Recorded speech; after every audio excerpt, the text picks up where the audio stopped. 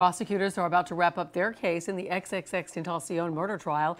Local 10's Ian Margol is live with more on what happened in the courtroom today. Ian.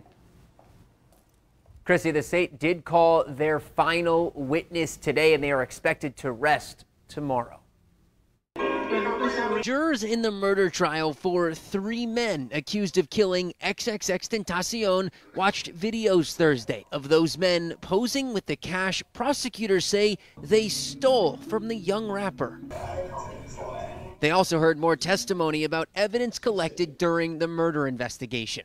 Prosecutors put a digital forensics examiner from the Broward Sheriff's Office on the stand to go through what was found on the phones of the three men charged in this case, including location data they say puts those men at the scene of the crime nearly five years ago. On the 18th, he shows up at his residence, or his phone shows up at his residence uh, at 3:16, and it's there until 3:24 p.m.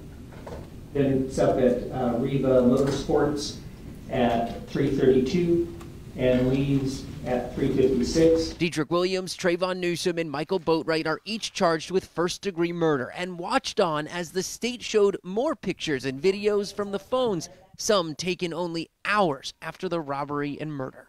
This was taken uh, on the 18th at 10:16 p.m. and the GPS coordinates results to Allen's home. This is also from the day of the homicide, roughly six to seven hours after the homicide. Correct. Tomorrow, defense attorneys will cross examine that witness, and then the state will rest their case.